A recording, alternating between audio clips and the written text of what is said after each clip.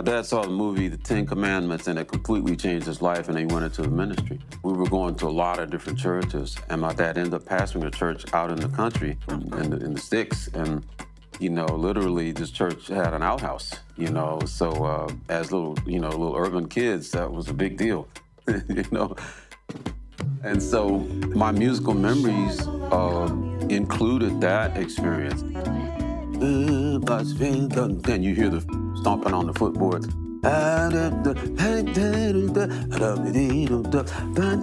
You know, call and response and that groove. Then next Sunday we'd be with his mom. My grandmother, Thelma, played organ at Metropolitan Baptist Church, anthems and hymns from John Wesley and Bach and Mozart And my grandmother was very white looking. She could have passed as white any day of the week. The next Sunday, I might be hanging out with my mother's mother. You're talking about serious iconoclastic black church where my, my other grandmother was a gospel singer. I mean, she was a domestic. Um, she cleaned white folks' houses, you know, uh, five, six, six days a week, really and took care of their kids and the whole thing. But when it came time for Sunday morning, man, it was catharsis with a capital C. And man, my grandmother sang, man, she could sing that gospel. Oh, Lord, Lord, you know. you know, she was singing her, and man, she would, when she would get high and full of the Spirit, man, she would take off and she would do a circuit around that church, pal. Yeah, so she got her aerobics in.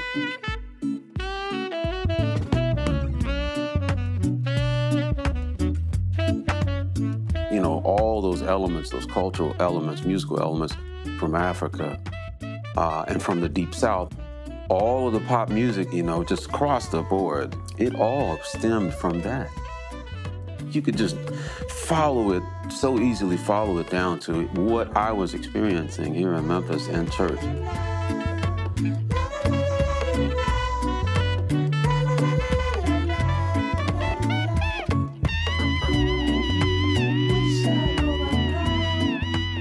Growing up in Memphis, musically, it wasn't just, you know, blues and gospel and R&B. Man, we listened to a lot of rock and roll. My dad wasn't a big jazz fan, you know, neither was my mom. You know, they he was listening to gospel, she was listening to Aretha Franklin. I was a kid, Grand Funk or Jimi Hendrix or the Jackson Five. That's what I wanted to play. You know, the band director says, welcome to high school. Would you like to be in the jazz band?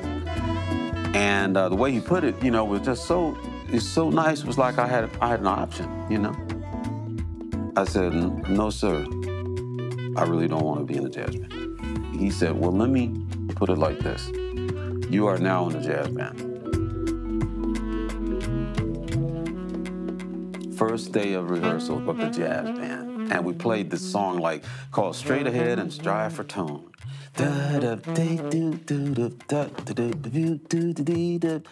And it was completely different from anything I had ever listened to there comes a moment when once you've played this part that is written, now you're called upon, each of you, to play what's inside of you. You invent something in the moment. You create it right there. And, and to me, that went, whoa. When I heard that music, I was smitten.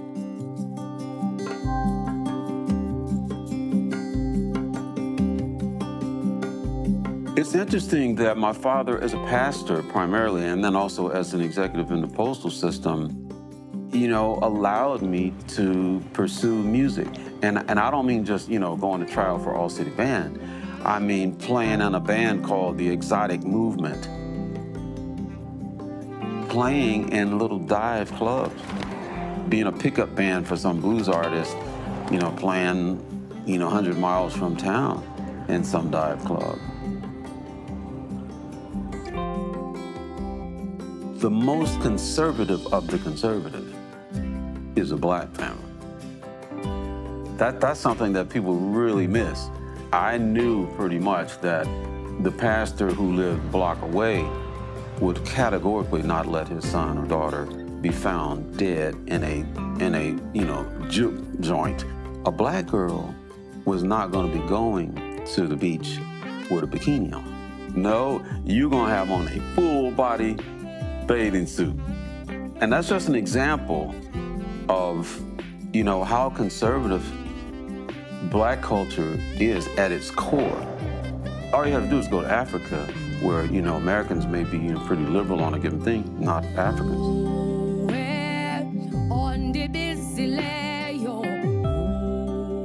I'm the fifth one of the six children. We used to go to school as no shoes on. You know what it is? Um, to go to school, no food, to go to sleep with no food.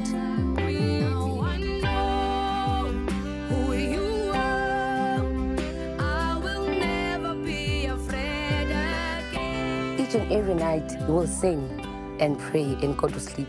That got us to understanding and believing and having faith in a very early age.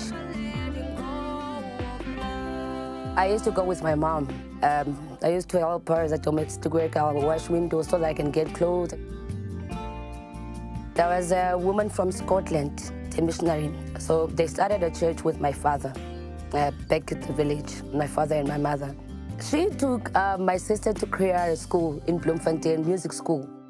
And me, I was worried and crying all the time at home because I was left by myself at the village. All my friends were gone but it was not very nice. The first song I started playing, it was Storm is over now. I can see the sun, somewhere beyond the clouds. I can feel heaven, heaven is over me. Come on and set me free. I didn't know anything. Why was I singing that song? I started writing um, the song Loliwe. Loliwe is a train. If you understand, for me, Loliwe means a journey.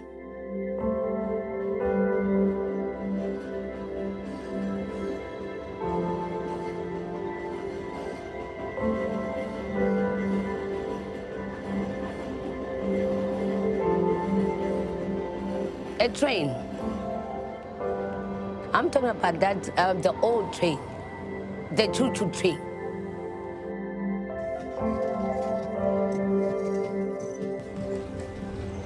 It goes not only to one place. It can take you from Germany to what what. But you gotta be patient. At the end of the day, you'll get to your store.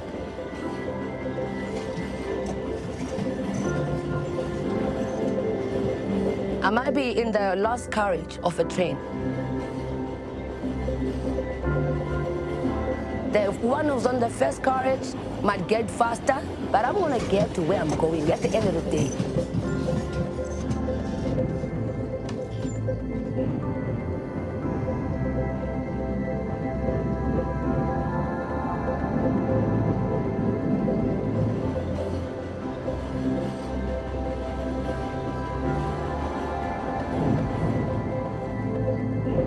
Everything may be rushing on me.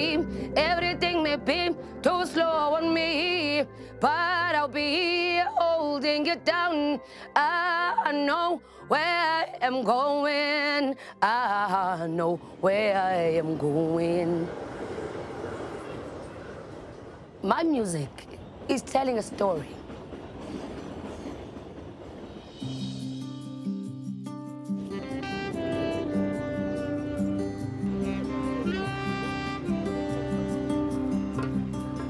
ndithe xa ndivuka ndiqonde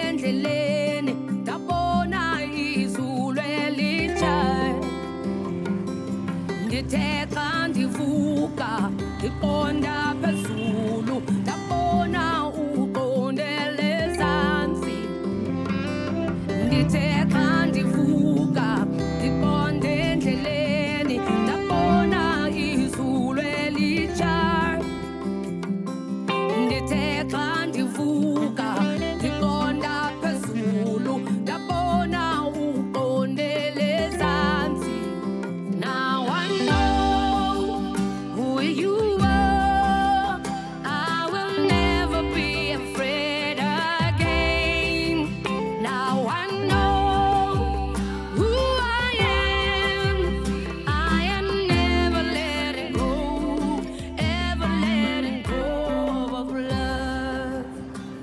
And then when I came to Joburg, you must remember this village girl. I had only tracksuit and my t-shirt and my guitar, which uh, the case I made from my jeans and, and my skirt. So everyone was laughing at me. I remember Tata Mandela called me. It was when I just released Loli. I thought it was a prank. I'm like, oh, Tata, no, never. I've never seen Tata. I went there, I was shaking. I couldn't believe this asked for me to sing for him, and he asked me, "Ukuthi Dungban, who am I?"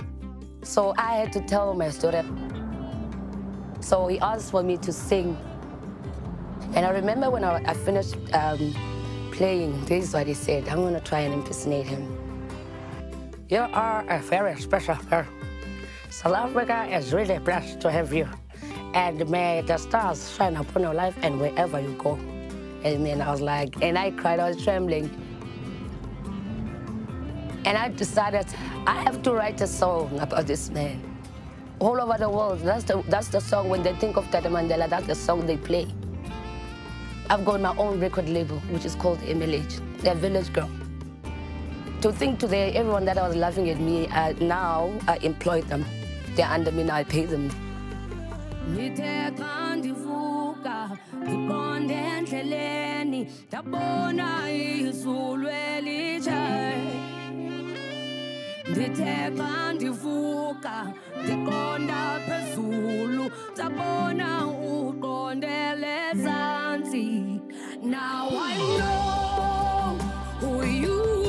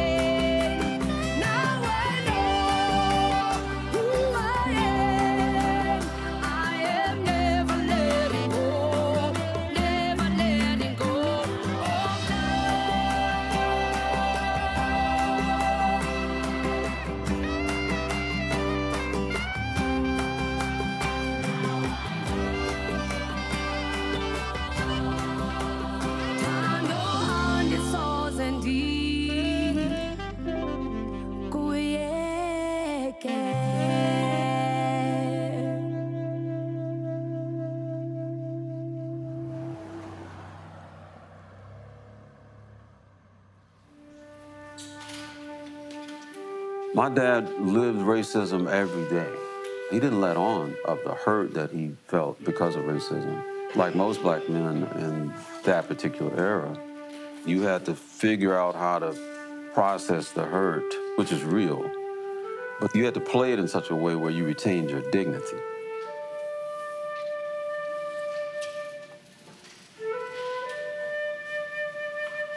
My father was very much a part of the civil rights movement, especially, of course, uh, in the early 60s when Martin King began to, to come here. And it was incumbent upon the local black clergy to basically organize and lead the movement in any given town. Who do you go to? You know, you go to the black clergy.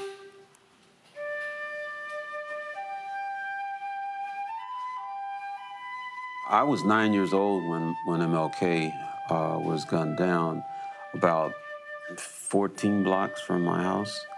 More so than that, the proximity of the authority figures in my life, right? The ones who were, you know, solid as a rock. You may see them shed a tear because they were happy at church, you know, but to see them grieving so just uh, profoundly in this moment, the kind of grief that's, it's not just like and the loss of a family member, there's this other thing that, that was going on that has to do with, you know, the spiritual thing that has happened. You know, they're trying to catch their breath. They're like, my God, what is what is going on?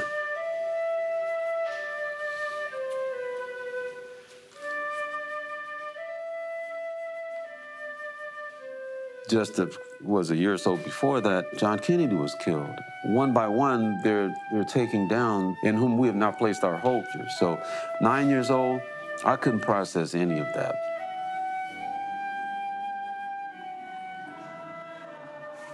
He was saying, no, love is the answer. Love is the only weapon that we have that's really going to work. And so now, gunned down, the guy who was saying that that we have to do this non-violently. That part I, I got.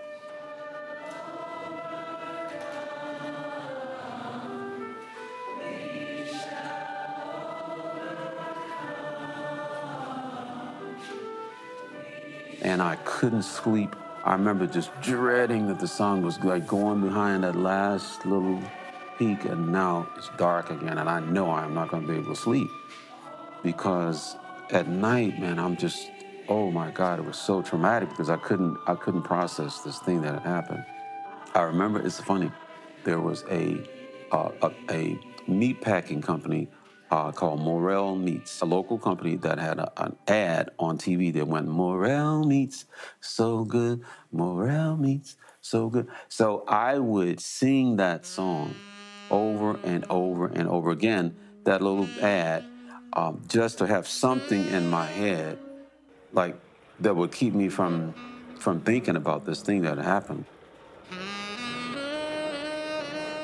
When I found out that it was at the Lorraine Motel, I mean, my dad would take us to the Lorraine Motel because it was a really nice pool. The public pools were pretty much segregated, right?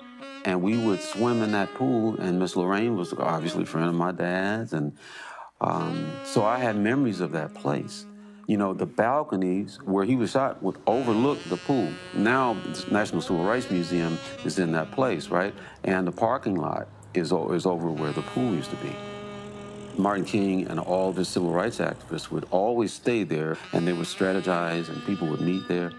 And the songwriters from Stax Records and Hi Records would also go to this hotel to hang out write songs, hang out by the pool. It was a place, by the way, where white folks and black folks could hang out together. Songs like Sitting on the Dock of the Bay were written at the Lorraine Motel. That moment in my life actually became axiomatic to my journey in ways that I never could have uh, anticipated. And when I was like 50 years old, went through some counseling, and just trying to just get, you know, get a solid foundation, my wife and myself, and boy, guess what comes up? It was that moment when I was nine. I think the problem with the world right now is we don't listen to understand, we listen to reply. And when somebody has a different opinion, sometimes uh, we hate them. Different kind of race, we, we come from different kind of uh, religions. If you look at our, our differences, yes, there are some, but if you can look at our similarities, I'm pretty sure there's a lot.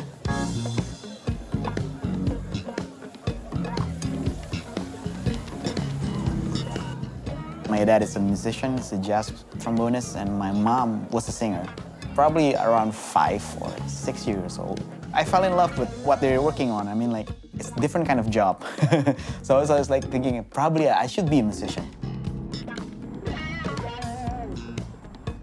I watched um, Chick Corea, Elektric Band, with uh, John Patitucci playing bass, and I was like, wow, this guy. I mean, I never knew that a bass could sound like that. He played all the melodies, he played all the rhythms, he played all the chords. So I was like, this is crazy, this instrument. And then probably when I was around 11, I started to, to, to play the bass.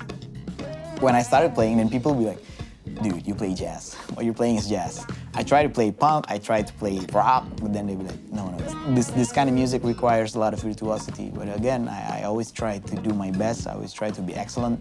I learn all the notes. When it's time for me to play, I kind of throw that away.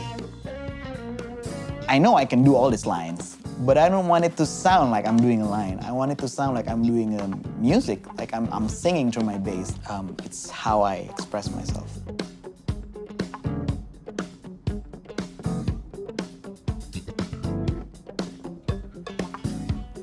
Is your level changed? Ah.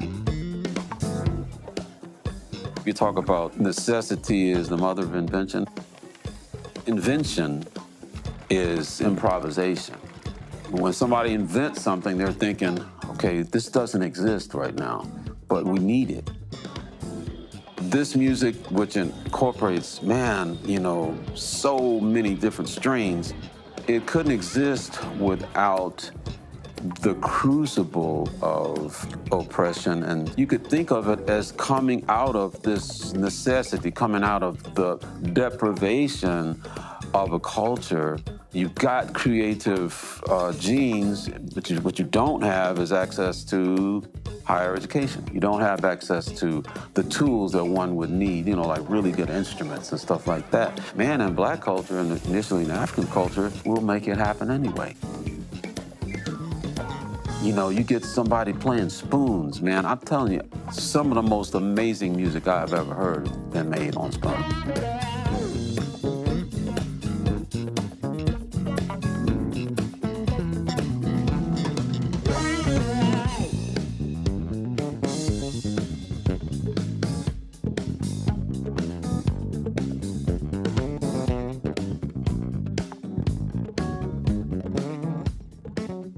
For me, the whole process of improvising, playing jazz in that context, came from a terribly simple kernel. Grew up in a household where there wasn't much in terms of resources. I spent a lot of time sitting in a room listening to records, playing over records, trying to make a nice noise that sounded nice with the, whatever I was playing on top of. And my dad was this huge Bach enthusiast. Uh, my sister was a classical oboist, my brother was a classical flautist. You know, as a teenage boy, I didn't want to be like them. Wanted to be different, wanted to play different stuff. And rebellion turned into enthusiasm, and enthusiasm turns into love, a slight obsession.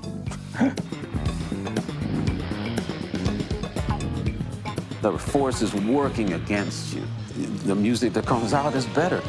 It's just qualitatively better than if things had been handed to you on a silver platter. What these Western musicians heard these black people doing, they were like, oh my God. And it's like, I want that music.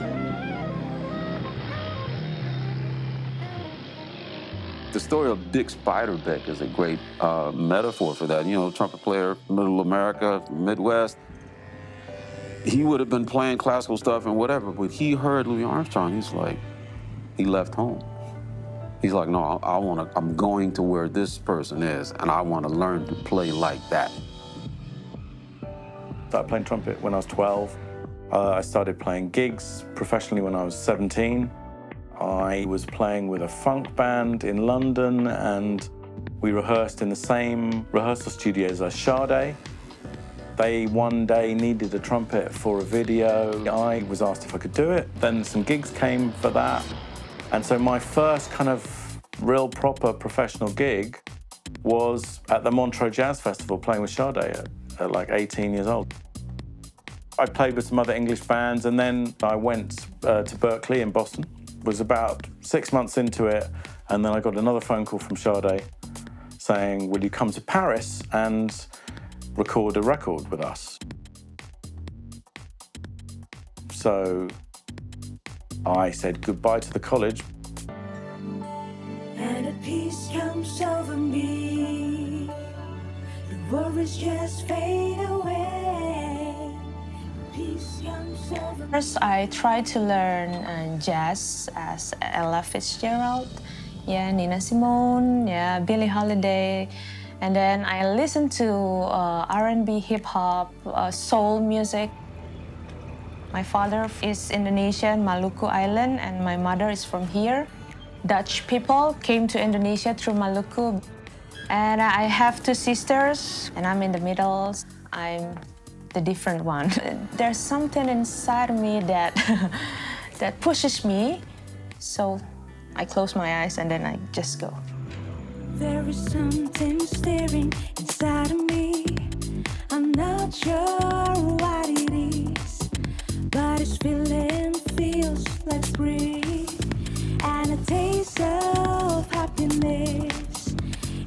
It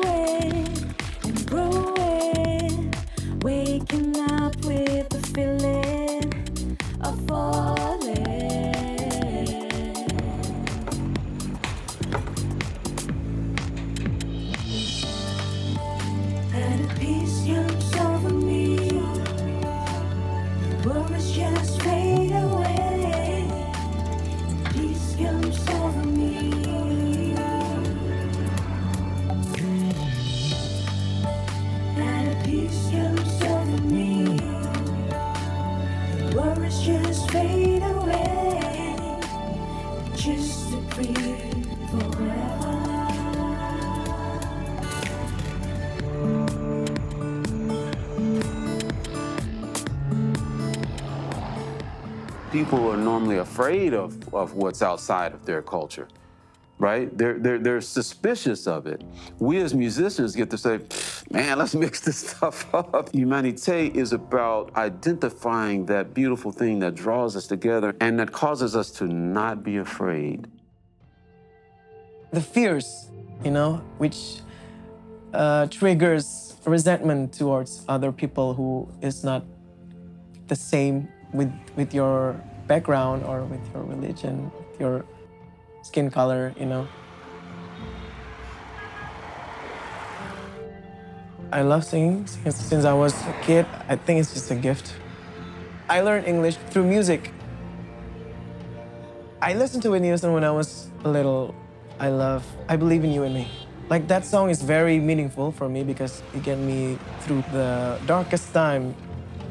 How powerful a melody and lyrics can be and can have an effect in someone's life because everything starts from within.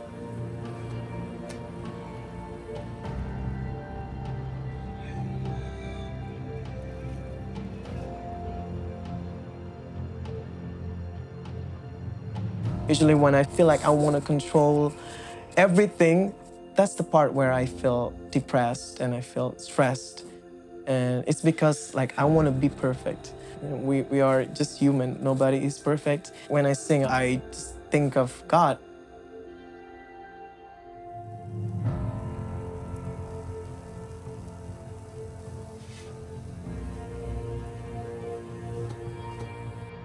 on this day and age, people start to forget about that side and think that, you know, what matters only is ourselves. Especially this time where the world is going through so much tragedies. I feel very sad every time I hear that people, you know, stereotype Muslims yes, we realize that we've always been different in terms of religions. We're used to hanging out even with not only the Muslims, not only the Christians, but even with Hindus, Buddhas, it's, it's never been a problem. When it comes to like hanging out or, or working or music or whatever, we're basically just Indonesian. And we're trying to, to make our way, you know.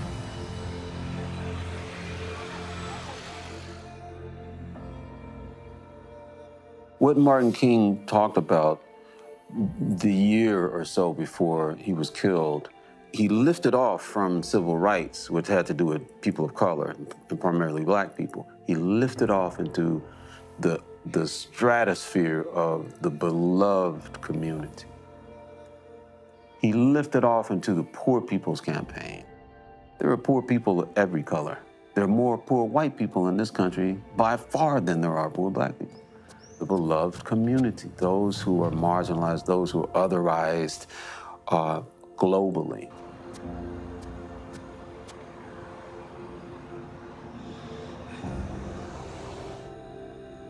So life giving and global, and also put him in the most vulnerable place a person can be.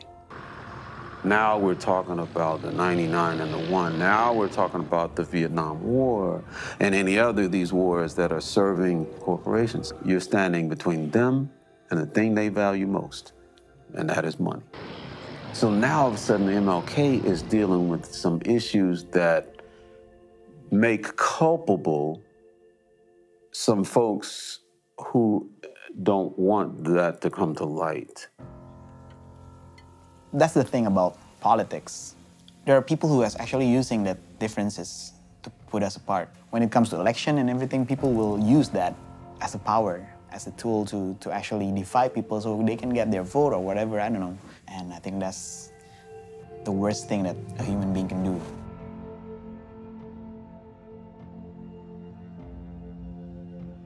I am absolutely indebted to the jazz roots to have prepared me to make music with artists from completely different cultures, to begin by uh, empathy and appreciation for someone else's experience and what someone else brings to the table.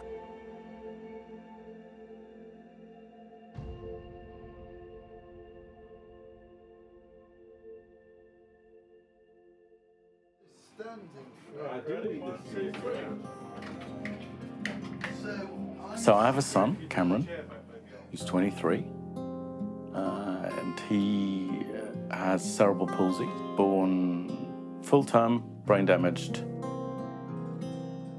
Diagnosis originally was very kind of general, vague. Uh, he has some kind of mild cerebral palsy, I seem to remember the doctor saying. And he has what's called tetraplegic cerebral palsy, so all three limbs apart from his left arm are involved. So, um, and along with that, there's some significant learning difficulty and a autistic element. Now, having friends with children who have a more significant, more serious diagnosis, I can understand the use of the word mild, although at the time it didn't feel particularly mild to me. When he was born, I guess my life changed completely. Shortly after Cam's diagnosis, his mother and I split up. Uh, Cam stayed with me. Obviously, he doesn't walk. He's a he's a full-time wheelchair user. So when he was a toddler, it was less impactful because you don't necessarily expect that toddler to walk. So I would turn up to studios, uh, to gigs, to sessions with me and my laptop and my gear and Cam. Cam in a sling, on my, either on my back or on my front, little chair by my side whilst I am programming beats for pop records. So he knows all of my friends well, he knows Kirk well, they're all important people in his life.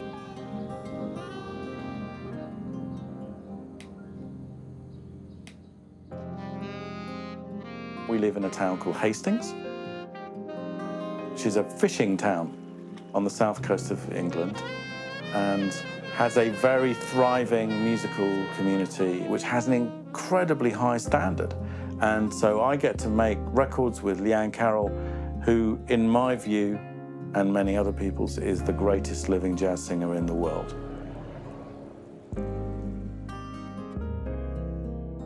And I've lived in Hastings virtually all my life. I started playing piano quite early. My nan and mum sort of got me into it. But I used to love to sing along when I was practicing because I just love singing as well. It was a really noisy household.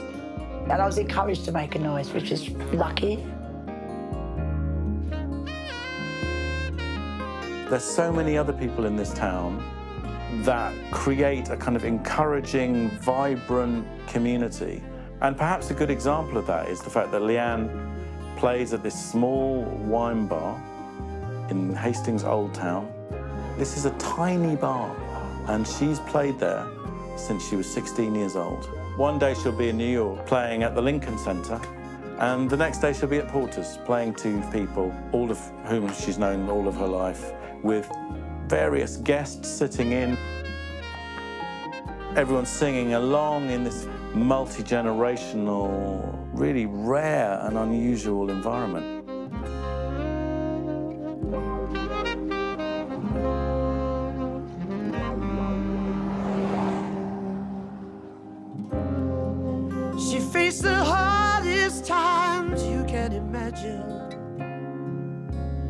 Many times. Her eyes fought back the tears. And when her youthful world was about to fall in, this time her slender shoulders bore the weight of all her fears. And a sorrow no one hears still rings in midnight silence in her ears. Let her cry, for she's a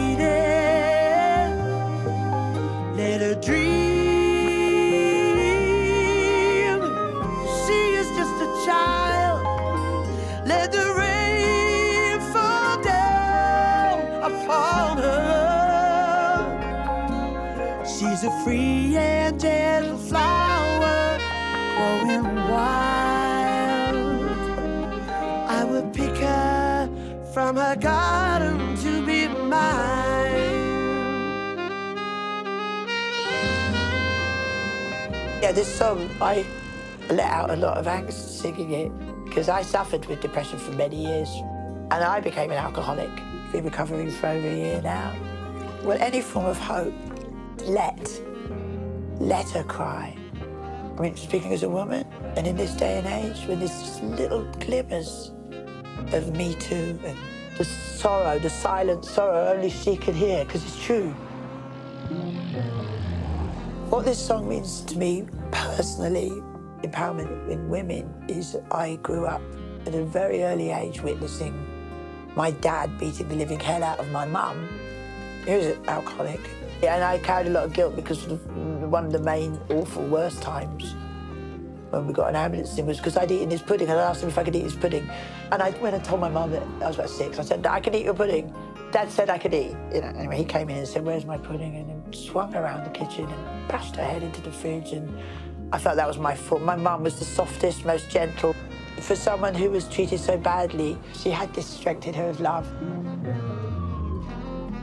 Be careful how you touch her, for she'll awaken and sleep. The only freedom that she knows. And when you look into her eyes, you won't believe for the way she's always paying for a debt she never owed and a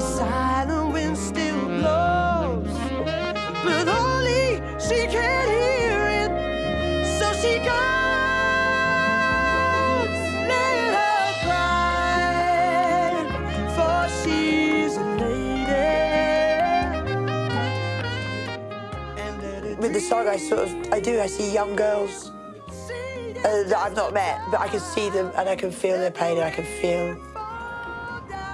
I don't know how many there are, but there are so many more than the heart can bear.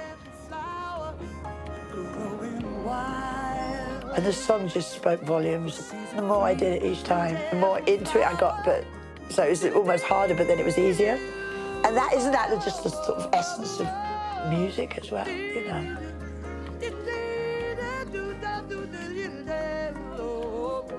Oh, I remember we were saying free our girls.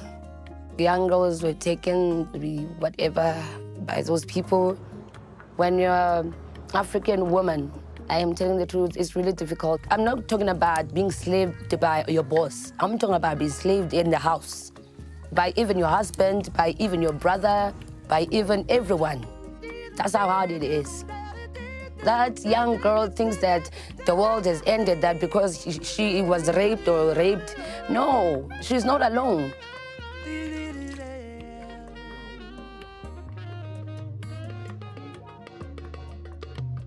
I am a woman. I am a daughter of this continent. I am a percussionist. I am a drum.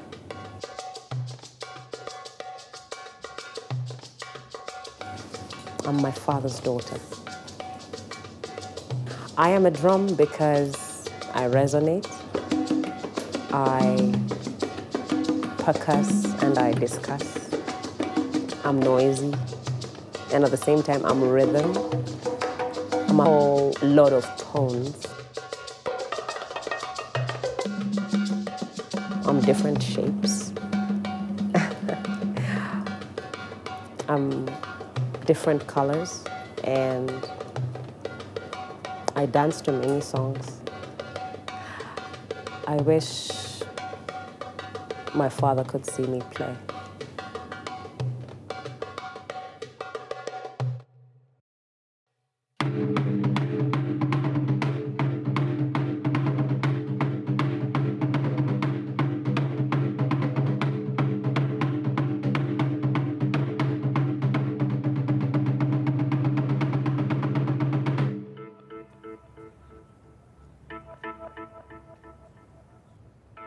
Started the piano when I was five.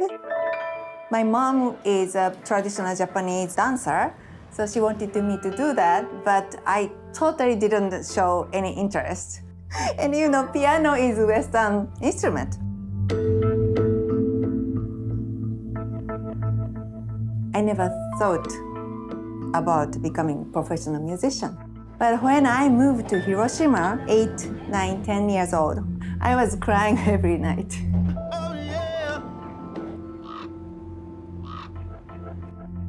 And that time, I started playing piano when I was in tears.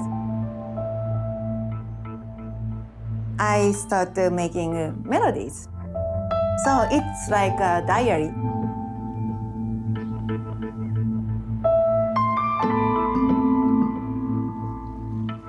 This is like 31st year since I released my first album in 87. I was having a hard time. I was almost giving up. I was thinking about leaving this earth.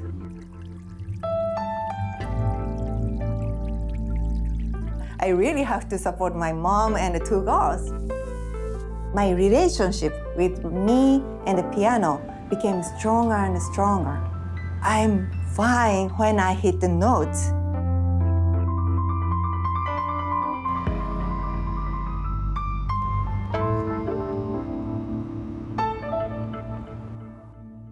When I toured in uh, Russia and Ukraine area, that was right after we had a tsunami and earthquake in Japan. After the show, lady came to me. She was in tears and, and holding my hand. Thank you so much. And now we share our pain together.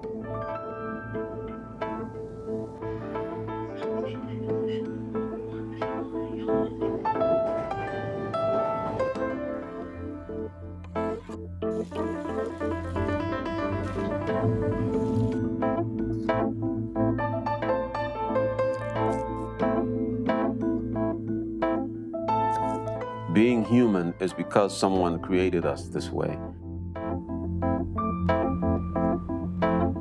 And so then we begin to explore our connections with each other. Everybody just ought to be free.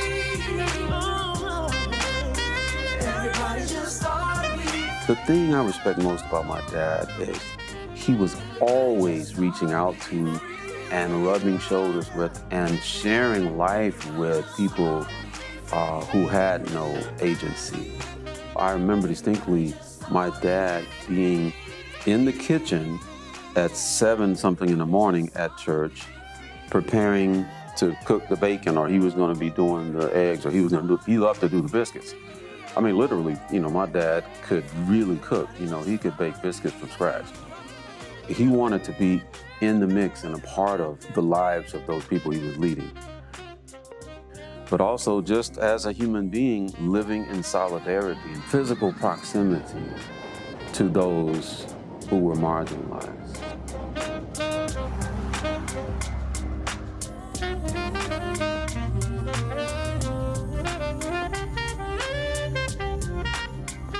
My fan said, Your music brought us back to the roots of the soul. Okay, so this is my mission to make more harmony on this planet. I, you know, I have so small hand, barely reach to the octave. I cannot play so many tensions and so many harmony because I'm, I have small hand. But I start knowing that even single tone, when I put my soul and heart, that's different. The music stays. So I wanna write melody which can stay human's heart forever.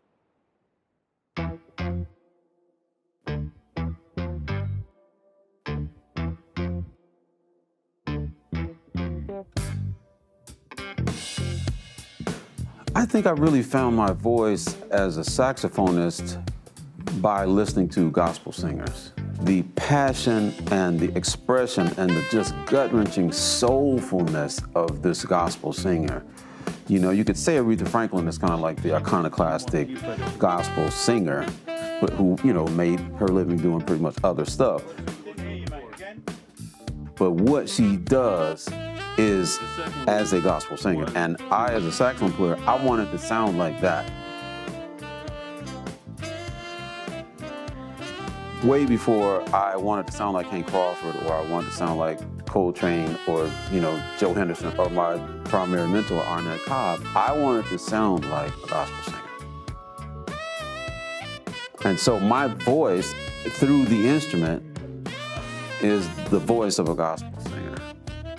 And so I'm able to contextualize that in bebop or in avant garde or in funk or in whatever. When I was living in LA, I mean, every other day I was in the studio with some big star, you know, Go West, everything but the girl from England. Barbra Streisand, Quincy Jones, on and on. But what I was doing all the time was basically the voice of a gospel singer. I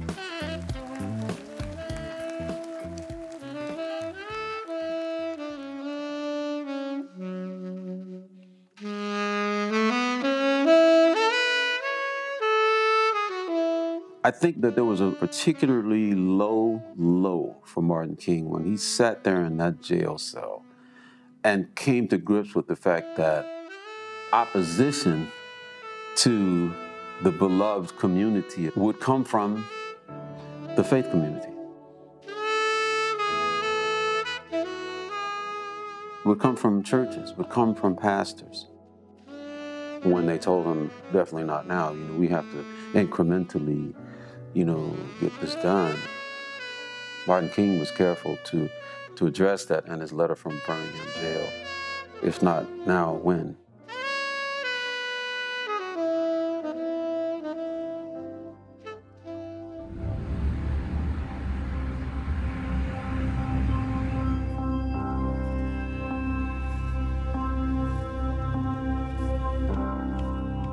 I'm Elizabeth, Elizabeth Njoroge.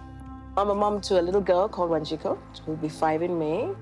But over the years, I've become a mom to quite a number of children as well in Korogocho. Um, they also keep me up at night as well as I think about them and their issues.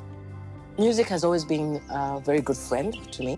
When the priest who was running the parish at St. John's asked me to teach music to his kids, I thought it was the most natural thing to do. I wanted to share this passion of this, this amazing thing called music. Even those kids who have nothing else can have music. My name is Simon. I was born in a family of eight and raised up in Korogocho, Korogocho slums. Crime was very high, prostitution was very high, domestic violence. My older brothers got in crime at very early age. Korogocho is by the dump site. These families and children live off that dump site. The children, their parents have to go to scavenge for things. It's killing them, but yet it feeds them. The dump site is owned by gangs, and it has spread to the point where the dump site is right next door to us. They set it on fire, and that just creates this toxic, noxious smoke. My mother took me to St. John Catholic Church. That's where I met Elizabeth Njoroge. So they asked us, do you want to play music? Ah, yes. We said, yes, we want to play music. We used to hip hop and reggae music. That's what we grew up listening to. Then she's bringing in now classical music. Ah, and I felt, oh my God.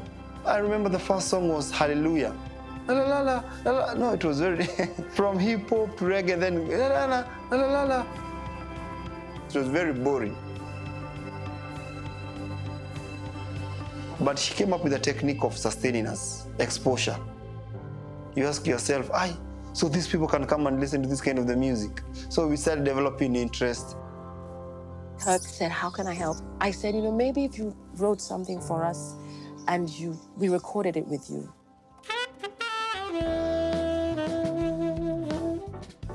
The beloved community, it, it comes at a cost.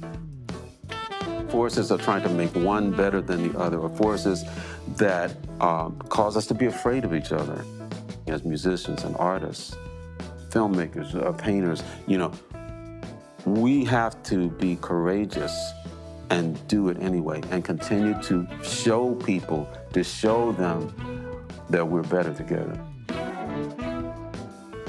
The only weapon that we have that can, that can vanquish the things that separate us is love.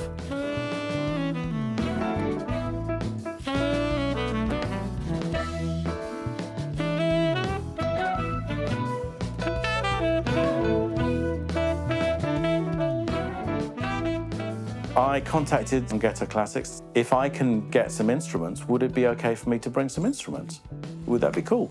And they were fantastic and said, yes, we'd love some instruments, don't worry about it, please go ahead. So I put a post on Facebook to all my brass playing and woodwind playing friends and explaining the scenario.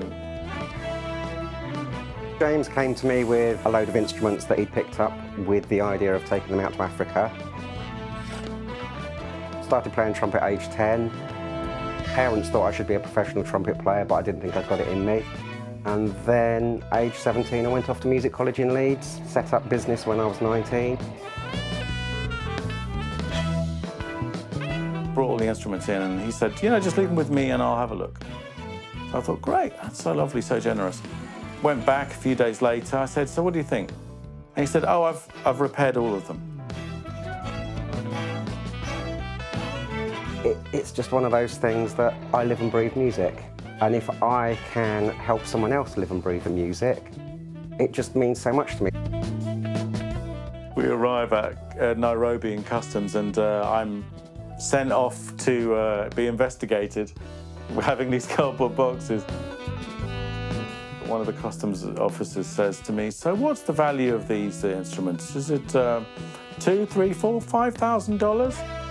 And I sort of smile at him and say, no, it's more like two hundred dollars really for the whole, all of them really. And the guy that gives me this look like, yeah, right. So luckily, I had thought about this before. I packed one of the boxes with the oldest instruments at the top so I open up the top of the box, get out this cornet in a wooden box. At which point he suddenly lost interest and said, "Oh yeah, okay, well.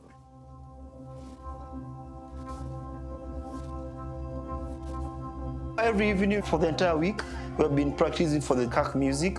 So after school, they usually meet from 5 to around 8 p.m.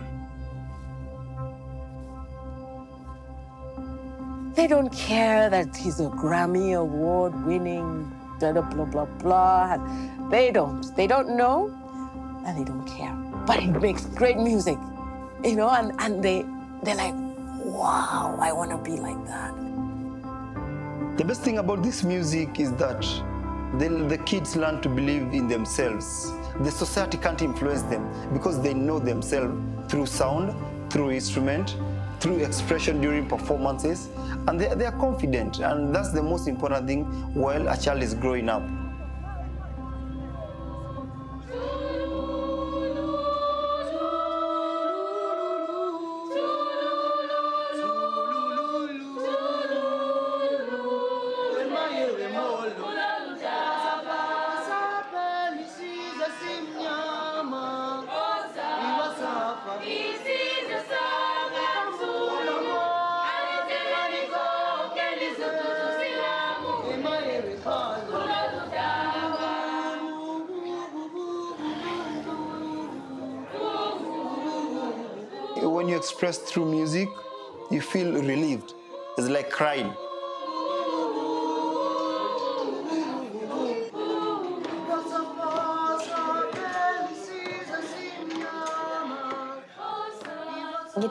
Classics is my family.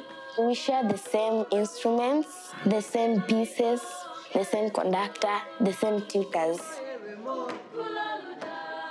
My dreams are finish my studies, teach the other pupils who are younger than me.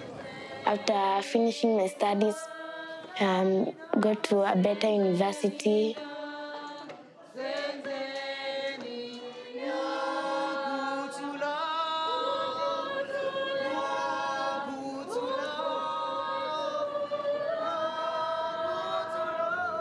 We have changed the perception because of that music. It's part of us now, it's part of our culture, it's part of our society. The music have created the harmonious community. The beloved community. We can make beautiful art together.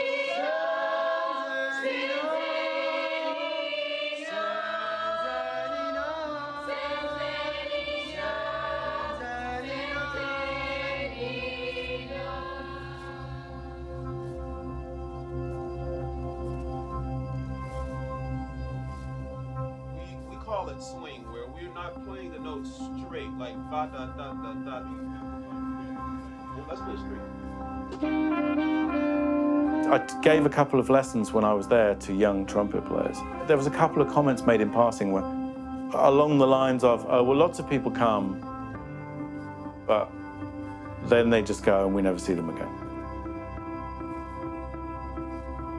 When you go to play that C, remember to, to tongue it with a T sound. So I've started giving Skype lessons. So on a Saturday morning, I teach the young brass players of Korogocho over the internet. And that's going very well.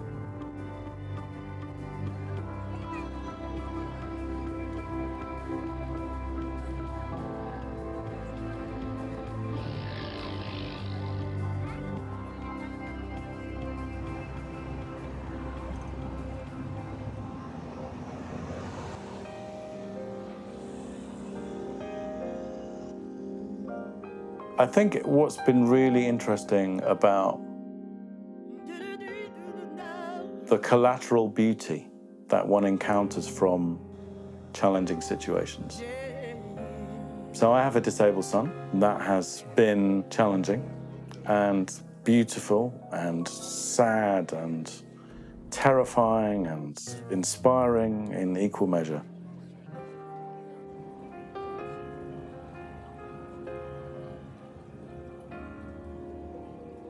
I got older and I went and married someone really quickly who, you know, who beat me up. He was an alcoholic. So I got out of that pretty quickly with a beautiful, stunning baby who is now 32 and has her own babies. And for the last 31 years, I've been with the man who I should have been with forever. But when I look at my daughter, and I look at my granddaughters, that she's brought them up to believe in respect and love. And they're just so happy. I want everyone to be like that. you do, don't you?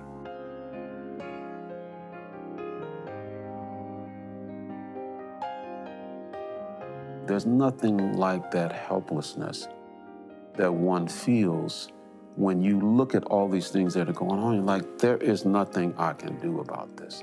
These governments and these big corporations and these wealthy folks are running the show and they're running it into the ground. Nothing I can do.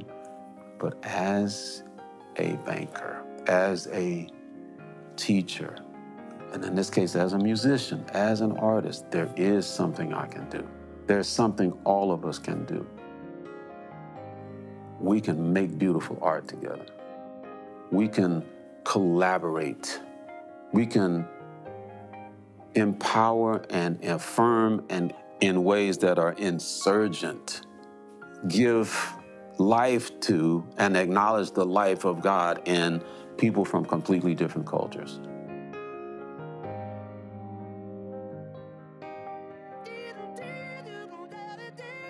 Over the years of playing, I just wanted to work, be a better musician, enjoy singing, and I've always wanted to have a connection with the audience. Even if I get a bit shy or feeling a bit low and a bit scared to go on, I start playing. It's it's it's wonderful. Just within two or three bars, I'm I'm there. I'm saved. I'm healed and cradled. People come out to be moved, or they come out to have an experience. I think, and if if we can share that together, that's that's it.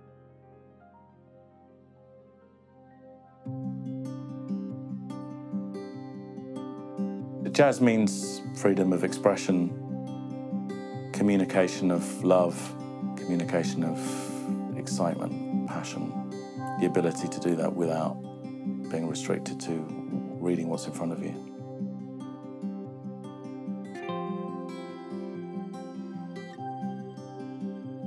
When you can love one another without actually thinking about any other background, any other religion, or race or whatever, but it's, it's just love. The way God sees people is, it should be our way of seeing people as well.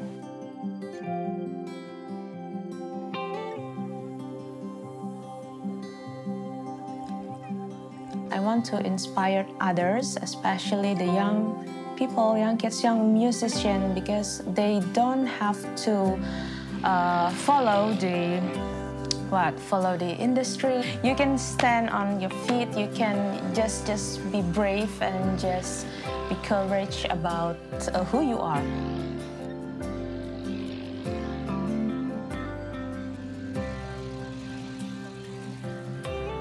I can't live without music. Music is my energy, music is my passion, music is my life and, and hope. I hope that people that, that listen to my music will notice that there is still hope. That whatever you're doing, you think it's already done for you, you think you're done, you think you're finished, but I'm pretty sure no.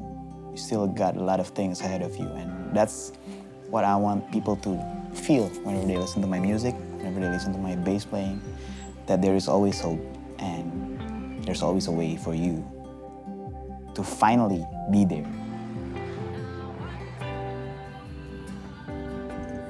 just empathize with others. That simple act can make a great change to the world. Like music can heal. When I was young, I was nine, I remember at church, people will force me to sing because they always say, when I sing, it heals them. I did not understand that until now.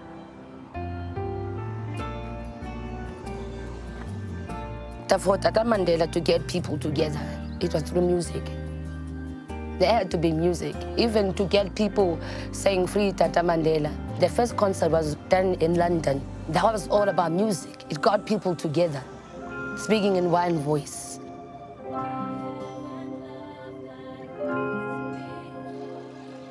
You need music in your life.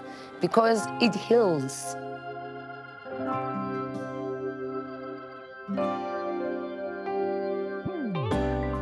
Man, I, I have learned so much, and it has made me a better Christian, but it's made me a better human. It's made me a better global citizen. It's made me a better local citizen. I think sometimes people pit those two against each other. And you can't be a good American and claim that you're a global citizen. No, I think you can be both. I think you should. And maybe humanity is about being good neighbors. Peeking above, as it were, the hedges of our particular faith tradition, our cultural particulars, nationalistic, all of those other things, color, skin color, race, but peeping above that to say, hey, let's let's come over and let's play in my yard for a while.